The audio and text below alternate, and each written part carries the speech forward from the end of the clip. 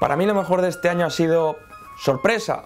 Metal Gear Solid 5. Creo que Kojima se ha despedido por todo lo alto, aunque tenga sus cositas. Y también me ha gustado muchísimo y me ha sorprendido muchísimo Bloodborne, y más después de esta pedazo de expansión que nos han traído con antiguos cazadores. Y en cuanto a excepciones, bueno, realmente no ha habido nada que me haya decepcionado demasiado. Si acaso Star Wars Battlefront, que aunque lo estoy disfrutando un montón, sí que es verdad que esperaba un pelín más, pero ya digo, sigo jugándolo y me está gustando mucho.